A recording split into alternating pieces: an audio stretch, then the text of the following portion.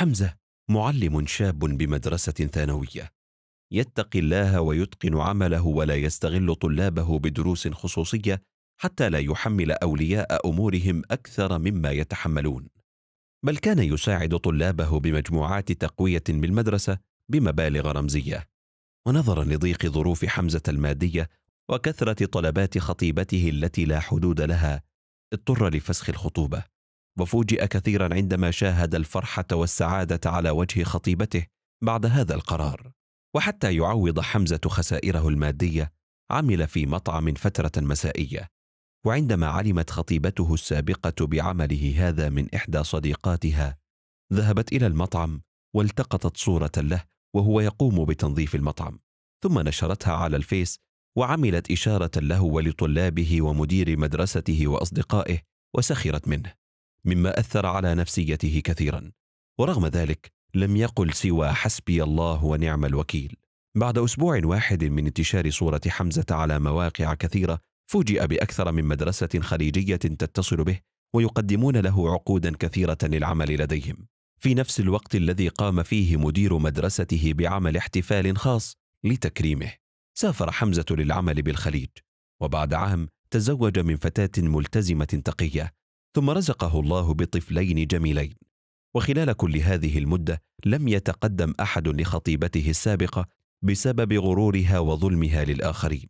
حتى فكرت في حيلة خبيثة تستطيع من خلالها خطف خطيب أعز صديقة لها. ولكن خطيب صديقتها لم ينخدع بوعودها وكلامها المعسول وأبلغ خطيبته بمطاردة صديقتها له. فقامت خطيبته بفضح أمر صديقتها أمام الجميع. مما جعلها تعيش في عزلة وحزن وعلمت أن كل ما حدث لها بسبب ظلمها لخطيبها السابق المعلم المثالي. ونضع الموازين القسط ليوم القيامة فلا تظلم نفس شيئا. وإن كان مثقال حبة من خردل أتينا بها وكفى بنا حاسبين. الأستاذ حمزة رجل صالح في الستين من عمره يمتلك عمارة سكنية ويعيش مع زوجته بشقة فيها بالإضافة إلى أربعة محلات كبرى في السوق يعمل في واحد منها والباقي مؤجر وقد رزقه الله بولدين وبنتين أحسن في تعليمهم في أرقى المدارس والجامعات حتى تخرجوا وتزوجوا جميعا وأنجبوا ويعيشون في بيوتهم المستقلة. بعد جائحة كورونا طلبت منه زوجته إغلاق المحل حتى لا يصاب ولكنه أصر على العمل فدعت الزوجة أولادها وأزواجهم وزوجاتهم وصنعت لهم وليمة كبيرة كي يجبروا والدهم على ترك العمل ولم يكن حمزة يعلم بالأمر. وحين عاد من عمله وجد المائدة مليئة بطعام وفاكهة وحلوى بينما تجلس زوجته حزينة تبكي وعلم منها أنها دعت أولادها ولكنهم اعتذروا عن الحضور بحجج واهية. فقرر أن يترك العمل.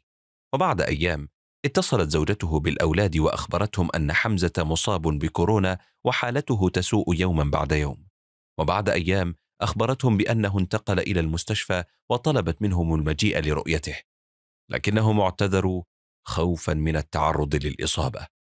وبعد مرور شهر أخبرتهم الأم أن زوجها توفي وأنها محجورة في شقتها وبعد أسبوعين أخبرتهم أنها سليمة وليست مصابة فحضر الأبناء يبكون ويرتدون ثياب الحزن بينما كان حمزة يجلس مختبئا في إحدى الغرف وبعد أن قرأوا الفاتحة على أبيهم أخرجوا أوراقهم لاستلام الإرث حيث كانوا في فترة حجر والدتهم قد قسموا كل شيء بينهم.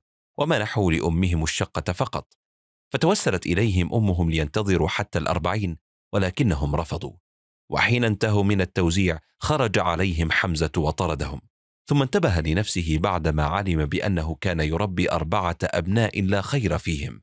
فباع أملاكه وقرر تعمير آخرته فبنى مسجدا وتكفل بأيتام وأرامل وتفرغ للعبادة وعمل الخير هو وزوجته التي ابتسمت وقالت له الآن لا أخشى الموت وأصبح قلبي مطمئنا.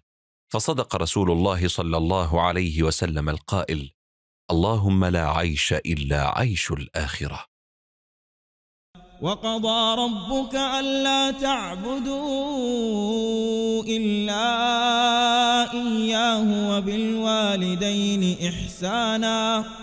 إما يبلغن عندك الكبر أحدهما أو كلاهما فلا تقل لهما أف ولا تنهرهما وقل لهما قولا كريما واخفض لهما جناح الذل من الرحمة وقل رب ارحمهما كما ربياني صغيراً